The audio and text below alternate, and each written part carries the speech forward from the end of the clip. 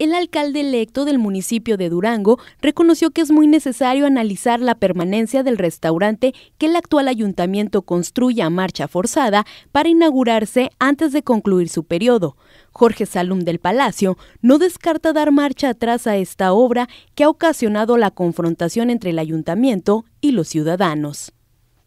Mira, yo creo que habrá que llegar y revisar eh, todos eh, los elementos que se tomaron en cuenta. He escuchado con mucha atención y de viva voz porque he platicado con ellos, con las personas que se oponen a este tipo de, proyecto, a los cuales les concedo mucha razón en muchas cosas, sobre todo que el proyecto no fue manejado de la mejor forma correcta, no fue socializado eh, de manera suficiente y creo que eso generó muchas de las inquietudes como tal. Habrá caso sí que poner sobre la mesa las consideraciones que haya podido tener el ayuntamiento, que por cierto creo que fue precisamente lo que provocó el descontento, es decir, que simplemente se iniciaron las obras sin mayor información que la que se fue generando por lo que fueron descubriendo las personas que ahí acuden al Parque Saguatoba y creo que eso finalmente fue lo que deriva en el conflicto que ahorita se tiene. Nosotros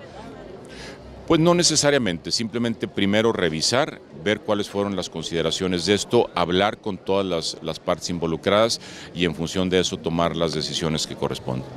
Para tiempo y espacio, las noticias.